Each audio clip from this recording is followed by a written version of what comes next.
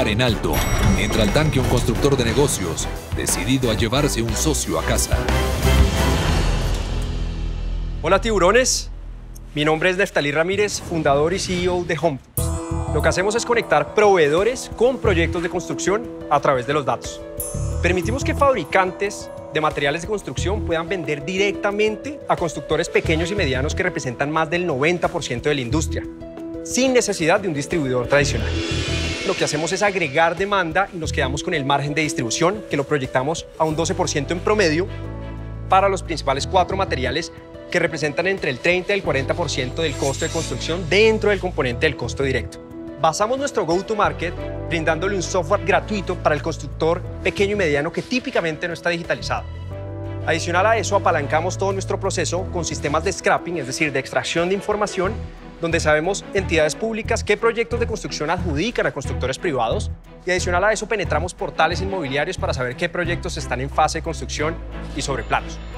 A la fecha, en un poco de más de 15 meses de operación, hemos tenido la oportunidad de procesar la información de más de 5.000 proyectos de construcción, donde arrancamos nuestro proceso de venta directa en abril de 2021, logrando un GTV de 204 mil dólares con tan solo un proyecto. Estamos recolectando todos estos datos con el objetivo de recoger variables de hábitos de consumo dentro de los proyectos con lo cual orientaremos nuestros esfuerzos para lograr financiar directamente las transacciones de los proyectos. Tuvimos la fortuna de cerrar nuestra ronda presemilla en 2020 por un total de 375 mil dólares y a la fecha en nuestra nueva ronda ya conseguimos 600 mil y para ustedes tenemos una oferta de 150 mil dólares por el 2% de la compañía.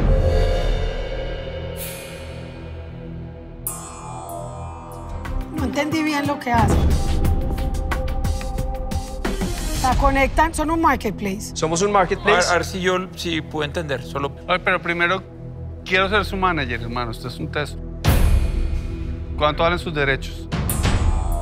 Él lo que hace es busca entre las bases de datos de proyectos, de constructoras de, y, recoge toda la información de quiénes son los adjudicatarios de proyectos del gobierno, quién está empezando una construcción. Cuando tiene toda esa información, obviamente los contactan y les ofrecen un marketplace donde están los principales cuatro insumos, de los cuales les hacen un markup del 12%. Y al final del día lo que van a hacer es a través del portal, una vez tengan la comunidad, empezar a financiar esos proyectos prestándole la plata en el ejercicio o conectando bancos o no sé.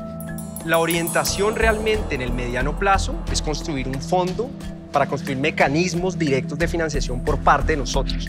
¿Pero usted hace negociación, por ejemplo, de materiales? Así es, somos mayoristas, con una diferencia puntual. Somos el único mayorista que no tiene inventario y se apalanca la capacidad logística Pero de los el stake suyo es el 12%, ¿no? Para que no suene mucho que en un mes vendió 270 mil.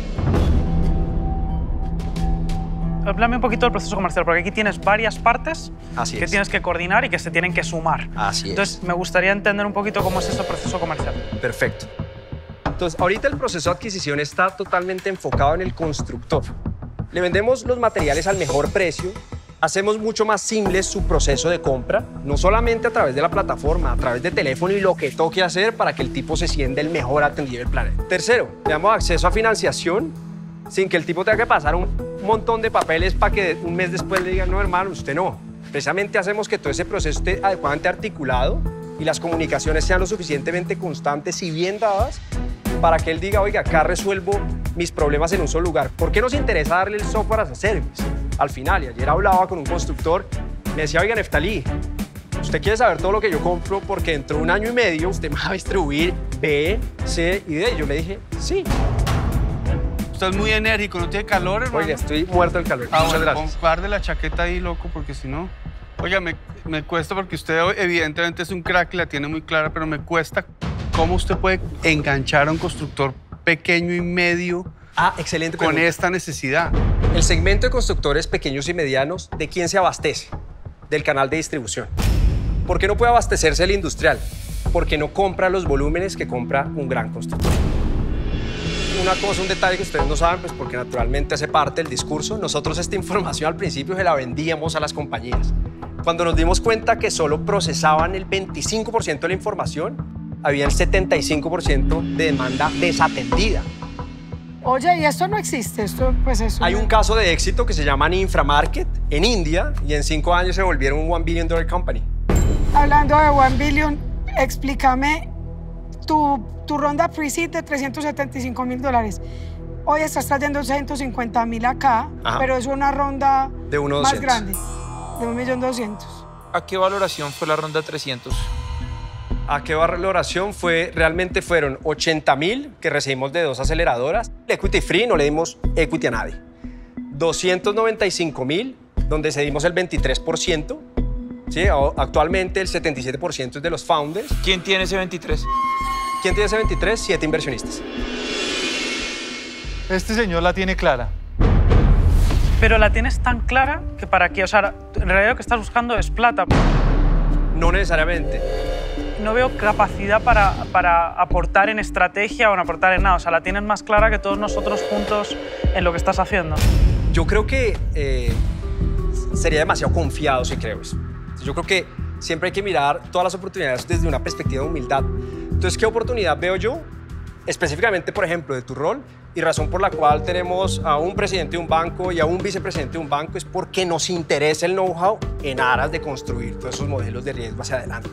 Y naturalmente, la red de contactos para generar tracción comercial, que al final del día necesitamos más ayuda de lo, que, de lo confiados que estamos. De esta ronda de 1.2 millones, ¿cuánto han levantado? En este momento, el lead. Neftalí, yo, yo tengo que decirle que yo me muevo, me muevo en otro mundo más del retail y de, de esos proyectos en donde yo puedo agregar valor. Muchos emprendedores deberían aprender a profundizar en su negocio.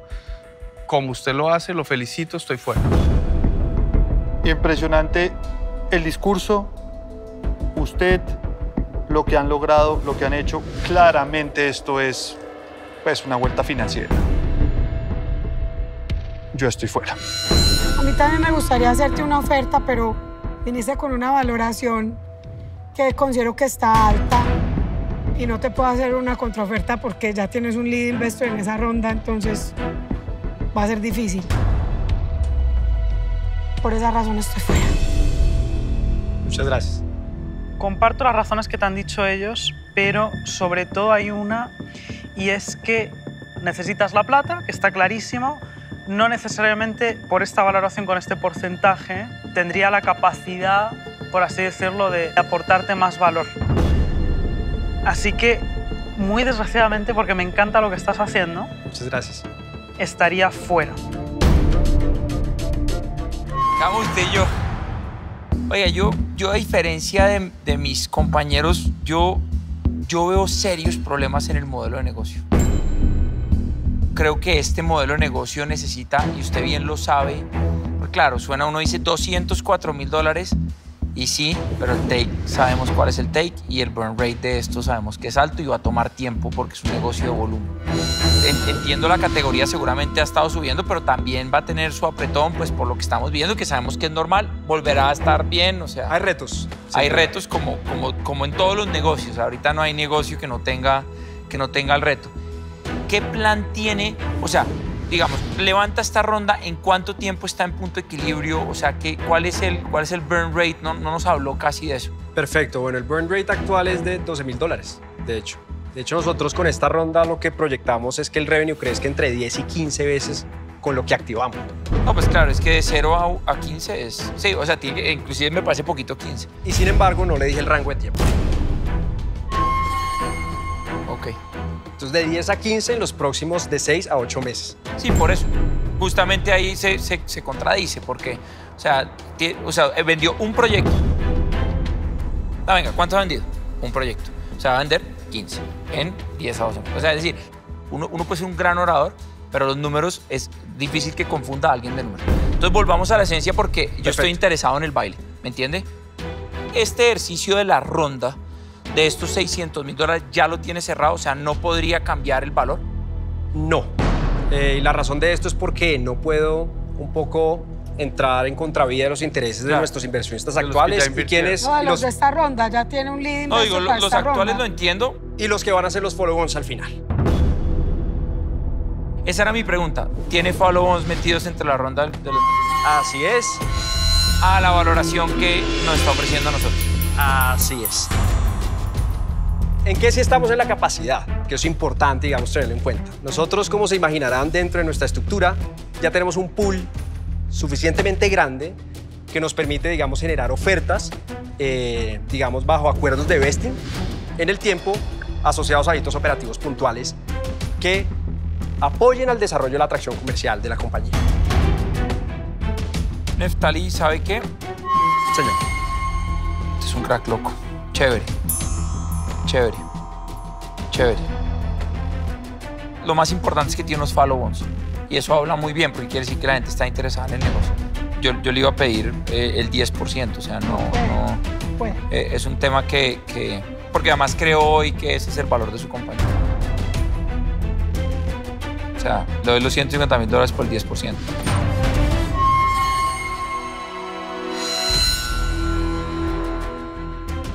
No puedo aceptar esa oferta. Solo por esa razón, porque de pronto estoy tarde un año. Me hubiera gustado conocerlo antes. Estoy fuera, pero le deseo la mejor de las suertes. Hombre, tremendo. Yo creo que antes es un placer pues poderles contar esta historia. que Yo creo que se construye un día a la vez. Gracias, tiburones. Buena, Neftalí. Mucha suerte. Suerte. Sígala rompiendo, hermano. Buen logo, buen logo.